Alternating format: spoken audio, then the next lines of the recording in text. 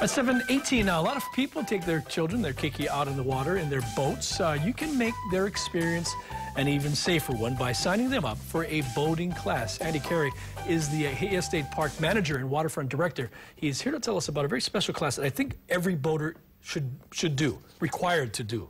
Yep. Actually, uh, tell us a little bit about the uh, State of Hawaii DLNR boating safety class. Yeah, absolutely. So this is the state's uh, boating safety and regulations course. It's being offered by Kama'aina Kids at He'eia State Park.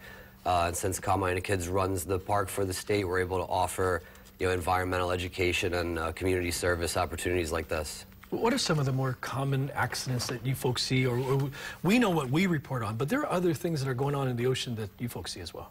Yeah, for sure. Most of it is definitely preventable. You know, if you know the rules and the regulations, you know, and the etiquette, and you know what to watch out for, you know, most of it is just, uh, you know, kind of people underestimating the conditions, you know, underestimating the ocean and overestimating their own ability sometimes, you know, yeah. um, especially, uh, and the folks at uh, Division of Boating and Ocean Rec, um, you know, asked me to mention specifically things like navigating too close to large vessels, you know, commercial vessels. You have to watch out for that kind of stuff. So, you know, you go through this kind of course and, you know, these are the things you learn about.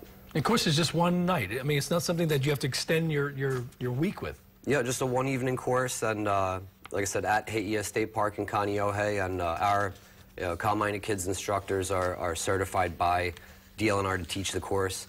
And uh, real, you know, very easy, laid back, and uh, walk you through it uh, with a nice PowerPoint. And everybody that does it, you have your, you know, your student manual, mm -hmm. which uh, and your responsible boating safety guide, uh, which are provided to us free of charge by uh, Division of Boating and Ocean Recreation, which is awesome. Uh, makes it really easy for us to to run the class for the community. Yeah, DLNR does a great job educating folks uh, because it's necessary.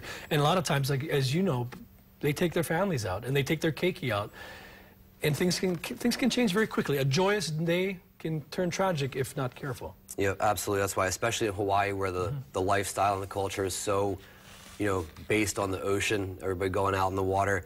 Um, really important, you know, for kids, young age, to learn the rules so you can go out there and, and do it safely and know what you're getting into. I like, I like the thought there. That's the state's boating safety education classes. Here's some information for you. It happens over at the state park out of uh, Tuesday, January 5th, and it's only $30 per person, and that $30 could one day perhaps save lives.